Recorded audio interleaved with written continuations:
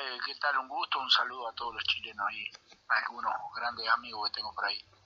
Este, estamos contentos, ni hablar, y entrar a un mundial nos sirve a todos los que estamos dentro del fútbol, a los que no, la alegría de la gente. Ayer yo fui al estadio con mi señora y un amigo y la verdad que me impresionó el estadio, que hacía tiempo no lo veía, o sea, lo veía lleno, pero ayer fue como que realmente esos estadios que se llenan para una final, con mucha gente peruana también, y, este, y donde la verdad salió un partido tranquilo en cuanto a, lo, a, lo, a, la, gente, se divirtió y dentro de la cancha fue un partido en el cual este, hubo un tiempo de Perú para mí, momentos de Perú y que lamentablemente en el fútbol siempre digo, ganan los que hacen goles, ¿no?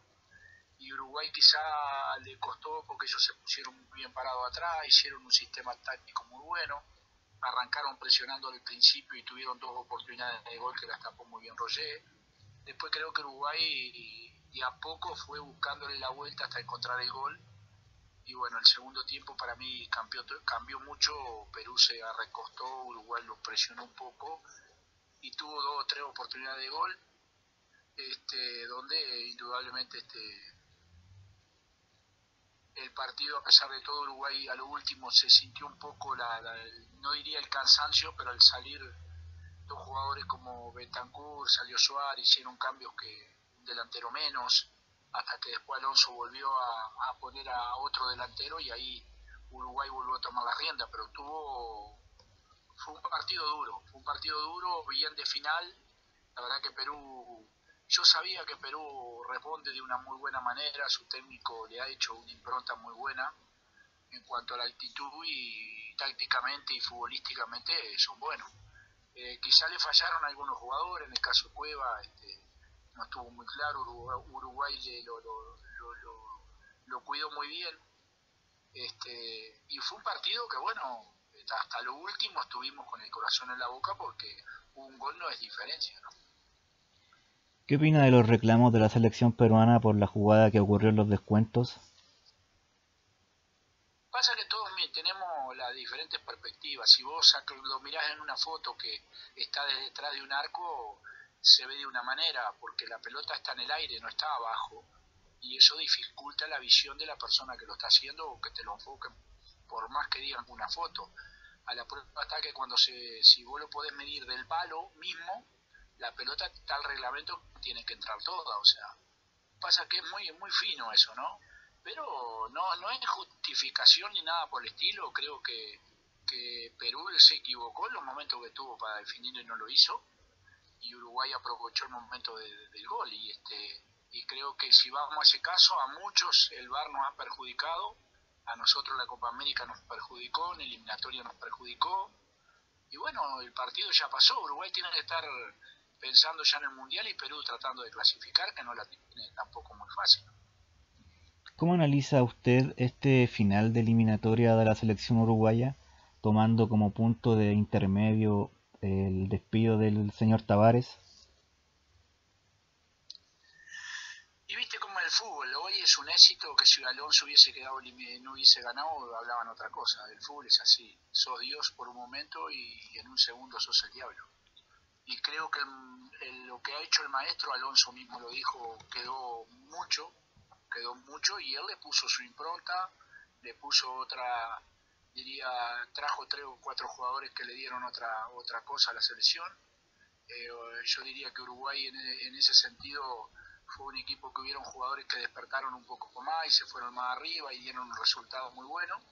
Y, este, y después, bueno, lo demás, indudablemente todos lo sabemos que que a nosotros nos tocó Bolivia, Argentina y Brasil. Yo siempre digo que cuando a un técnico lo van a echar, se dé cuenta que vos tenés un equipo, no sé, llamado mediano en Chile, Wander, por ejemplo, y, tenga que jugar contra la U o contra el otro más importante, Colo Colo, y tu futuro está en esos resultados. No lo veo lógico, ¿no? Porque normalmente siempre el grande gana este, el que mejor equipo tiene, el que está mejor clasificado, el que está más parado. Y bueno, te pusieron un cuchillo en la garganta. Sabes bien que si los perdés te echan.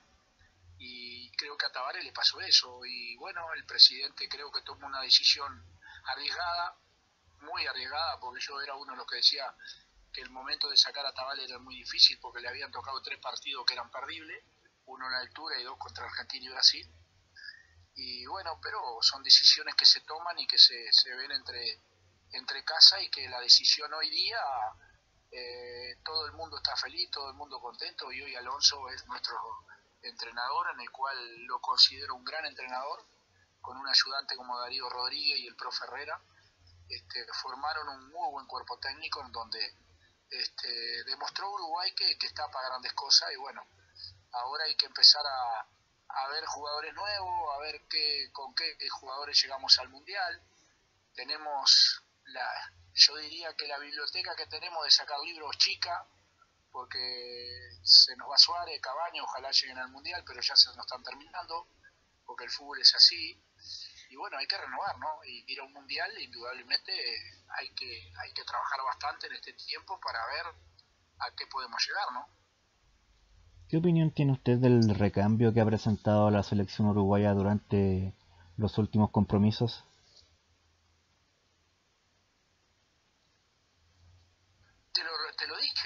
o sea, feliz, un recambio en el cual los jugadores eh, da la sensación que el equipo tuvo actitud. Indudablemente los rivales fueron diferentes, es lo que te estaba comentando. Tanto Brasil, Argentina no es lo mismo ir a jugar a Asturias que después jugar con Paraguay, Venezuela y, Perú, porque en ese sentido estamos todos muy parejos, ¿no? A la prueba está que Ecuador pierde con Paraguay eliminado. O sea, hay que todavía no se sabe cuál va a ser el quinto. Yo creo que, Perú tiene la gran posibilidad de hacerlo, porque tiene equipo, pero está Colombia y Chile ahí atrás, ¿no? Precisamente hablando sobre Chile y, el partido que se viene de Chile versus Uruguay el próximo martes, ¿cómo usted cree que se va a dar este partido entre la celeste y la roja? Pues ya esa es una pregunta más para el entrenador que para mí, ¿no? Para los dos entrenadores, pero siempre fueron partidos difíciles y duros Uruguay y Chile. Ahora hay que ver eh, qué sensación se tiene aquel que ya está clasificado, que juega con otra tranquilidad, aquel que tiene que ganar para poder a ver si clasifica y esperando resultados de otro equipo. Este, no debe ser fácil para el jugador el nerviosismo que genera, no de miedo, sino nerviosismo de que tenés que ganar primero y esperar a ver qué puede pasar con el otro equipo, qué puede ir pasando con el otro equipo. Este, pero Chile creo que tiene juego para atacar, para jugar bien, y Uruguay tiene para responder. Pero eso no, no. Con el diario del lunes hablamos todo, los partidos son totalmente diferentes. Desde su punto de vista, ¿usted cree que la selección uruguaya viene relajada o con ganas de, de sepultar a Chile? Y yo creo que nosotros en ese sentido, sabiendo la clase de entrenador que tenemos, eh, nosotros vamos a jugar todos los partidos como en serio como lo jugamos siempre. Este, no creo que se nadie regale a nadie y que sin ninguna duda Chile Uruguay si puede ganar va, a ir a ganarle a Chile.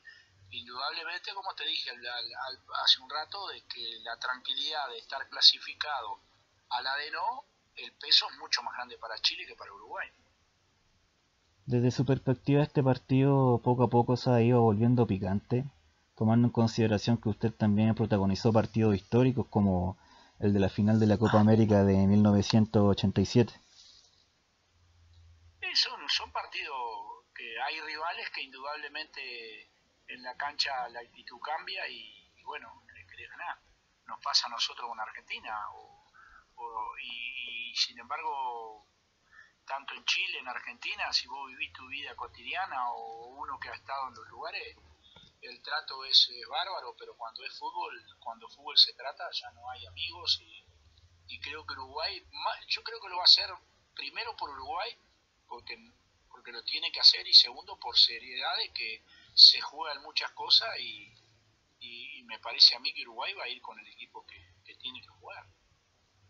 ¿Usted cómo recuerda los partidos ante Chile? ¿Qué me podría comentar de los duelos que, que jugó contra la Roja?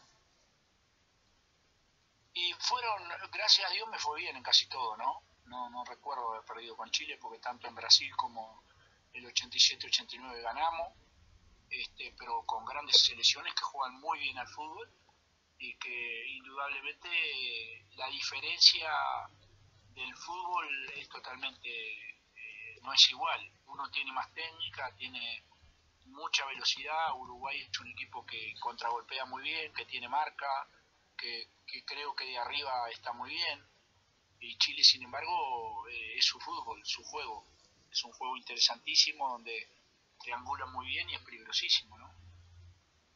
Claro. ¿Qué opina usted de, de, la, de, la, de la reacción en el continente ante los malos resultados de Chile, donde existe mucha mofa?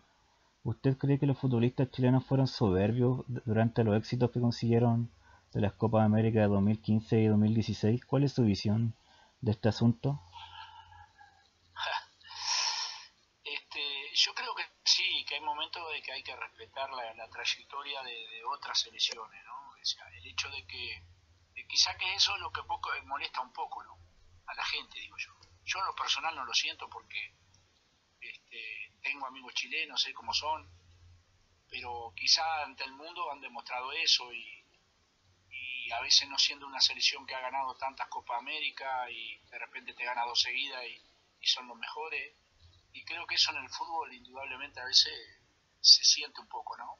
Se, se agarra esa rivalidad de querer ganarlo. Ahora, señora Elsa para terminar la, conversación, me gustaría consultarle sobre el Mundial de Qatar y cómo usted ve la realidad del fútbol sudamericano pensando en la Copa del Mundo. ¿Usted cree que las selecciones sudamericanas pueden ser competitivas?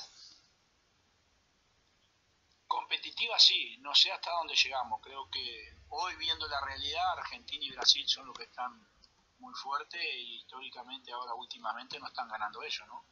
Creo que hay una gran ventaja en el tema económico que nos llevan los mejores jugadores. A nosotros nos dan los jugadores un día antes y ellos tienen la posibilidad de estar más cerca y entrenar entre ellos. Y creo que eso perjudica bastante al equipo sudamericano, tanto en Europa, que ellos están muy cerquita y si se le ocurre hacer algo en un rato, lo hacen.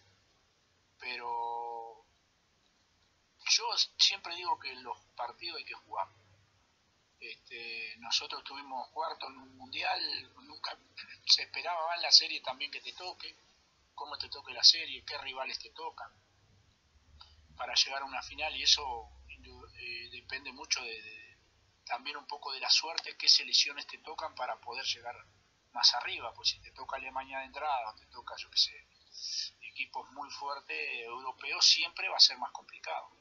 Pero por ejemplo, Argentina y Brasil yo creo que están en condiciones de poder pelearle por la clase de jugadores y Uruguay indudablemente creo que estamos como todo, como Chile, como Ecuador, de llegar a lo máximo que se pueda y bueno, ahí después el fútbol es el que habla y en la cancha se ven los pingos, como decimos nosotros.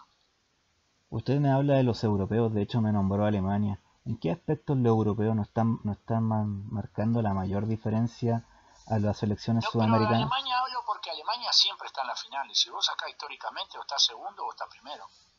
Los alemanes tienen un sistema de, trabajo que les ha dado muy buen resultado y no lo han cambiado. Mira Italia, ¿quién iba a pensar que Italia iba a quedar eliminado siendo campeón de Europa? Y le ganó quizás una selección que yo no lo he visto en los partidos, pero capaz que históricamente es menor que todo, que todo lo que tiene el fútbol italiano el fútbol tiene esa cosa, a veces el jugador está muy bien y, el, las grandes selecciones en ese momento están mal y se puede voltear al mejor. O sea, nos pasó históricamente a nosotros también.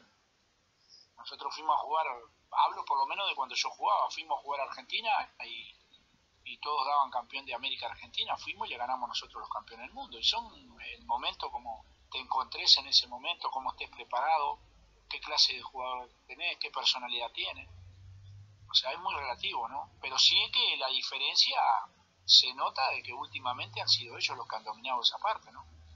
¿En qué aspecto usted cree que los dominadores de, la, de los últimos torneos que, usted me nombra que han sido los del viejo continente, el europeo, no están marcando la mayor diferencia en el plano físico, en el plano táctico, en el plano técnico? ¿Cuál es su opinión al respecto?